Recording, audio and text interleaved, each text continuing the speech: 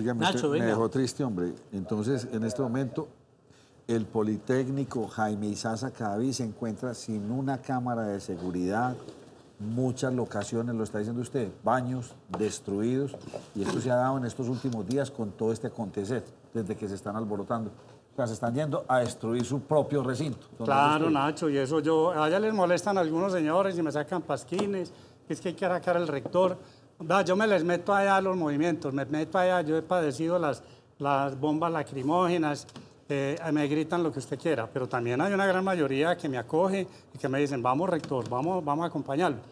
¿Por qué? Porque, hombre, no es justo que hagamos un paro o que hagamos unas manifestaciones públicas para que nos den plata a la universidad pública.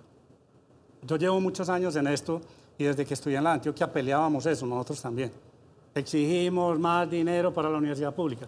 Y hoy lo mismo. Y ahora que nos han dado la plata, por ejemplo a mí, en este gobierno, el año pasado nos dieron más, alrededor de 10 mil millones, Nacho. Primera vez, muchachos de la mesa, primera vez que nos dan esa plata. Esa plata nos salvó el equilibrio presupuestal el año pasado. Este año nos van a volver a dar unos recursos. El gobierno nacional pactó con los estudiantes en las marchas del año pasado 4.5 billones. Primera vez en la historia. Entonces, hombre, a mí me parece que es de honradez reconocer a quien da la mano. ¿Qué falta? Seguirá faltando. Pero lo que no estoy de acuerdo es que digamos que vamos a salir a exigir dineros del Estado cuando estamos dañando los bienes de públicos.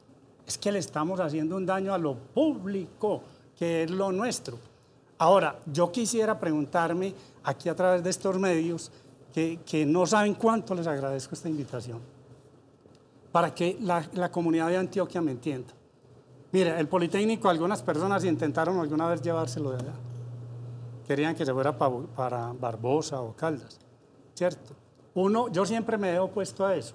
Claro, a nivel comercial, imagínense el centro comercial que harían ahí. Nosotros tenemos 65 mil metros cuadrados, más otro tanto del INEM serían más de 120 mil. Sí, señor. Ya, eso es una, una- en plena milla, ahí entre Las Vegas y la, Usted está sentado y en la, una y la mina de 10. oro, sí. Esa es una verdadera mina de oro, no una milla en una mina. Entonces a mí me parece que estos ataques de algunos señores que son muy poquitos, yo no sé si será que son mandados por ese objetivo. Porque es que en la medida en que nos desgasten y nos hagan, nos van a obligar a cerrarla.